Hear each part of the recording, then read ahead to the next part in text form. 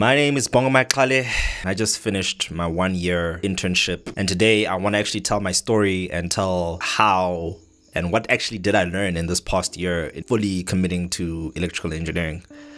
I want to actually start my story from the beginning. Um, I'm actually surprisingly a, a, university dropout student. Just really struggled in that kind of setting, and then I didn't want to give up, so I pursued it through like a NATED course, which is designed very weirdly or very differently. But uh, today I'm gonna actually tell the story and tell what did yeah what did I learn and what did I overcome. Now how did I overcome?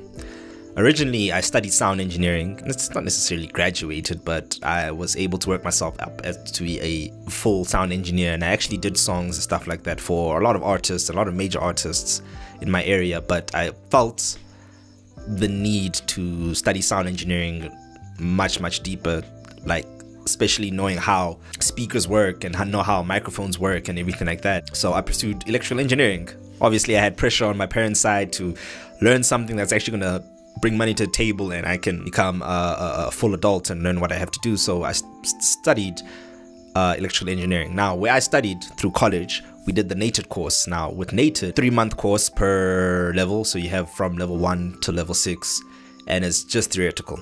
That's all you're gonna get. You're just gonna learn how to learn maths. You're gonna learn science. You're gonna learn your majors, like what I chose, was, which was industrial electronics, mechano, which was a lot of a little bit of a, what I really wanted to do was actually a little bit of both of electrical engineering with a little bit of mechanical engineering, so I could understand how uh, obviously how motors work, how to connect motors from AC and DC motors and uh, electrical stuff. Well, actually, what I really wanted to focus on was electronics. And another thing that made it a little bit difficult was that where I stay or in my my hometown is that there is a huge line of people trying to get into mining, and once they get into mining it, it was a it was a mess. It was a difficult to get in. Not a lot of job opportunities, not a lot of internships or apprenticeships they they were they were taking at the time. But in my class, there was like a, a thousand something of us uh, in the in the in the in the school uh, doing the faculty studying that, and out of that, in a year, uh, mine would probably take maybe five to ten students. So it would be extremely difficult to get in.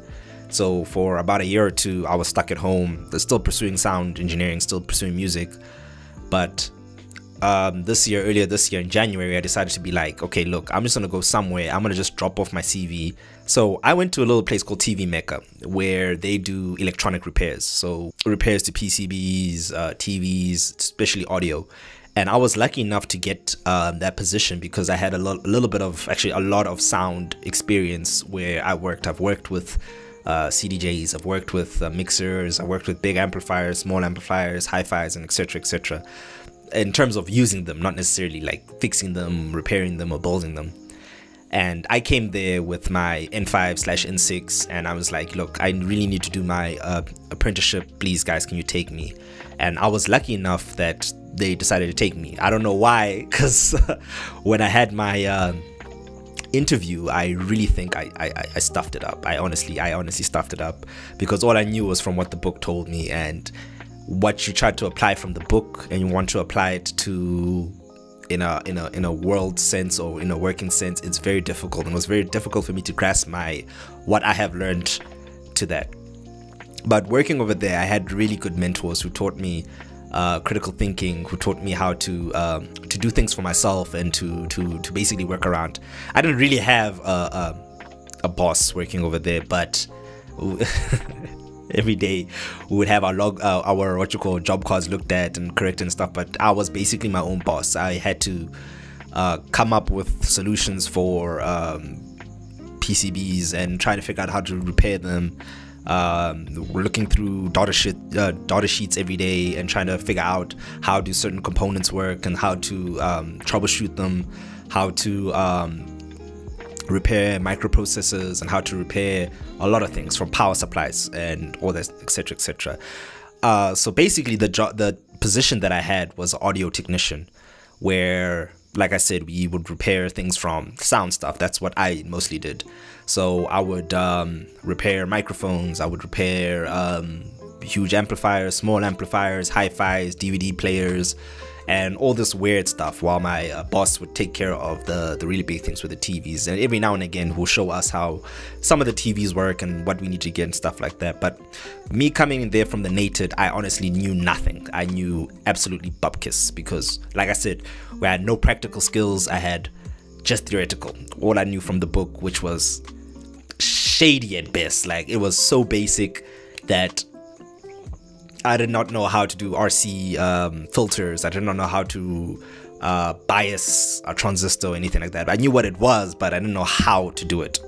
So when I got there, the first thing they taught me to do was soldering and desoldering components on the board without delaminating it from the PCB or um, basically not stuffing it up, taking it in and out stuff like that, and just purely from just watching them how they do it, and they would uh, guide me every now and then on okay, this is how you do it and what tools you need to get and all that kind of stuff. So my time over there was um, honestly just spent like just learning. So the day one when I got over there, I had my multimeter was one of those cheap multimeters that I had when I was still doing. I, I did like a practical course at like Tabiso's training center, uh, like two years back, where it was just house wiring, and that's what I actually really like. I knew how to do. I didn't knew how to do two-way house switching.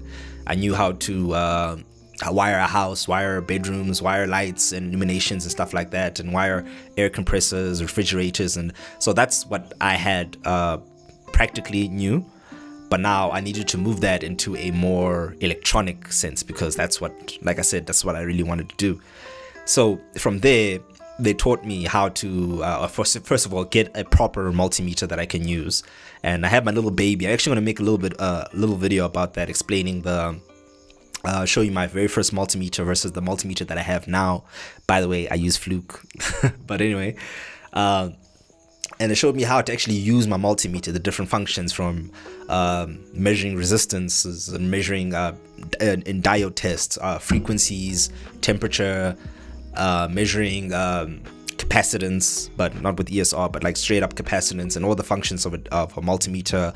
I've worked with uh, different multimeters on a different day depending on what I need to do on the application and what should find uh, what I'm trying to find out how to use things like oscilloscopes to troubleshoot boards uh, especially in the audio sense and uh, from TVs as well, especially box TVs to find out where your signals and stuff are going and etc. etc. So in the first few months, my daily routines or my daily tasks were basically taking a PCB uh, PCB and troubleshoot it and try to find out what caused it to go wrong and what uh, failures that happened onto that board or onto that component or onto that thing, and then uh, repair it and try to repair it in such a way that that fault doesn't come back again.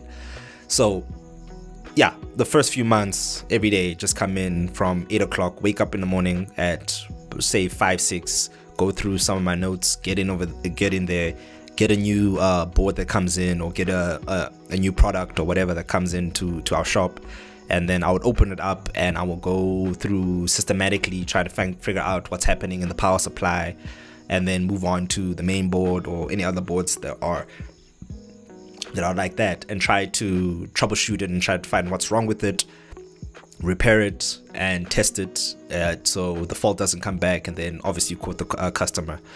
Uh, throughout that time uh, for the first yeah few months it was crazy because like i said i didn't know anything and it was mind opening to see how the, the the senior technicians were how they operated, how they did the things, and how did they. Just for me, just standing there and just watching them how they did, I have learned so much uh, from backlight testing on uh, TVs, uh, backlight um, LED testings with uh, with different kind of instruments and stuff like that, and just taking components in and off of of PCB boards and then obviously modifying it to make it work or even adding breakout boards or adding motherboard uh, different um, boards to compensate and etc etc uh, to the point where I have gotten to the level of being a junior uh, engineer right now. I'm still studying obviously uh, to obviously surpass my diploma and obviously get uh, to more and stuff. But the critical thinking and the critical skills that I got from working as a as a technician is something that I highly recommend other people doing as well. The sooner you can get to uh, apprenticeship or the learnership, I rec- highly recommend it you doing it, especially if you're in the NATED course or if you're doing NATED engineering, because unfortunately, you're not going to get practicals. You're not going to get uh, lecturers who know what they're doing or know um, how to. Um, to do these very complicated things. Unfortunately, you have to further your studies and stuff like that. But learning these basic skills like soldering and uh, um, uh, testing with your multimeter, becoming very good with your multimeter and your ESR meter and your oscilloscope so you can troubleshoot and repair is something that those valuable skills that I till this day would obviously use and uh, keep on using and learning the business side of it as well with electronic repair and um, studying PCBs and etc etc that the mental state and the worth ethics that you really need to do this is something that um, you can't just wake up one day and like ah, I'm gonna do this and then leave it and come back. This is something that it honestly becomes a lifestyle, and I see it uh, ever since working over there because now I'm obviously repairing over there, and when I get home, I study.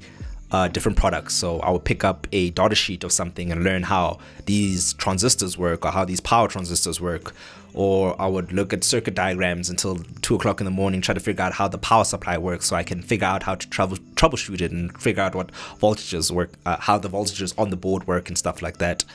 Um, now I'm trying to move into a um, more of a design approach and building uh, things, and building like my own amplifiers and building my own um, sound equipment, building my own um, PCBs and etc. etc. And again, those are things, those are the skills that I really needed to get in this internship and to to move forward in my life. Uh, honestly, just to say in the beginning, yeah, the pay the pay wasn't good. It was it was terrible. It was next to pub kiss, but I knew because it was gonna further my um, my education, it's gonna further my skills. That I was like, look, I'm going to take this and I'm gonna do it, and I'm gonna make it a part of me instead of having this thing where it's just like this is something I studied and I did not know what to do with it. So I'm going to put it in the back burner until something opens up. And unfortunately, it, it nothing did open up for it. I never got into the learnerships at the mines. I never did anything at the mines. I never, I wasn't even interested in doing things in the mines because before working at TV Maker, I worked at uh, Armature Worlds where I was an armature winder, and I really hated the what you call the factory settings and uh, the factory environment on working with uh, people like that uh, in the factory. It, in my opinion, was dangerous. I ended up doing things that weren't electrical at all. I was busy welding. I was busy um, doing very mechanical stuff. And I was asking the people when I when I when I especially the boss at the time when I worked there, I'm like, look, this is something that what I wanted to do was electrical work and do um, electronics over here, and you guys told me that, and unfortunately, it, it wasn't the case. We ended up being uh, just a, a, general worker for five months, five six months over there. So I ended up leaving, um, leaving the area and moving on to something that was a little bit better at TV Maker. At least from there, that was something that I was interested in learning and was willing to put in the hours and put in the work to learn that those skills to get uh, into that. But this video that I was trying to make is just something that to inspire people who are doing the NATED course and who are um, still trying to figure out if this is something that they want to do. Any education is is good. Don't don't let education or don't let people tell you that ah you can figure out your way. Do it, learn it so you can become better, so you can learn things that obviously other people don't know and you can implement it and to do it in other in, in your own way and obviously become better of yourself so um yeah that's actually my story so far till um january till now i'm currently still working at tv maker I still enjoy the, the the work that I do there with the repairs and everything. But now on my own, on my own free time, I'm learning things like um, uh, programming Arduinos. I'm learning embedded systems on my own. I'm learning digital systems on my own and designing PCBs and uh, designing PCBs and designing different um, products on my own. Hopefully, that one day that um, maybe I can start my own company or maybe I can start our own st- uh, startup or meet up with other engineers or other people who are the same um, the same mentality as me, and when it comes to um, the the production of products and the production of different um, electrical systems and so on and so forth. But yeah, to end this video off, just to let you guys know that yes, uh, engineering is actually fun. It's really fun. It's more fun after when you actually start implementing it and actually doing it than you're studying. Studying is gonna be a, a drag. It's gonna be it's gonna be hell. You're gonna you're not gonna sleep. You're not gonna have friends. You're not gonna have time to go out or do anything. You're gonna kiss all of that goodbye when you're gonna fully do engineering.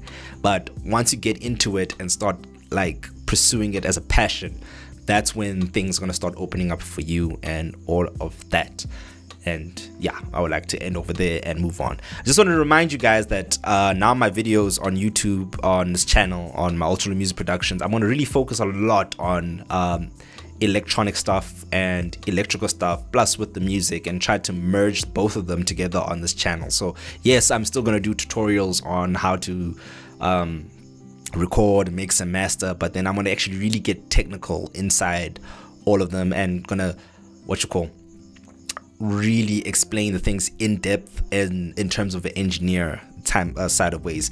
Maybe put also down in the comment section what kind of videos would you like me to make? Would you like me to make videos uh maybe something starting something very simple like uh, soldering and or basic uh um uh, wiring for cables or so on or you want me to, uh, to start straight up to talk about electronics like how resistors works how capacitance works how diodes and etc work.